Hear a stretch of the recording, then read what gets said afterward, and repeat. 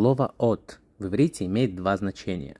Первый перевод этого слова – буква, и это женский род. Например, первая буква от решена, множественное число буквы от йод. Второй перевод этого слова – сигнал, и это уже мужской род. Если мы хотим сказать сильный сигнал, мы говорим от хазак. От этого слова образуются два глагола – леотет, что переводится как подавать сигнал, частности, включать поворотник. И да, на иврите есть слово поворотник, не совсем ивритское, винкер, но также и говорят леотет, то есть дать сигнал.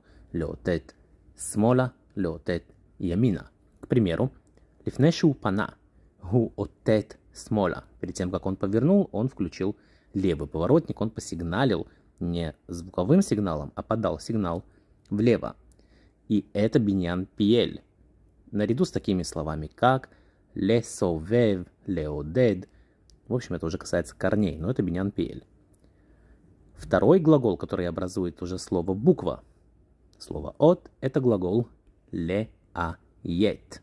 Леает, тоже биньян пиель, переводится как произносить слово по буквам, как на английском spelling. Например, царих леает нахон эт ктовет ха имейл или ктовет хамейл. То есть надо правильно произнести по буквам адрес электронной почты. Леает. На этом все. С вами был Тимур.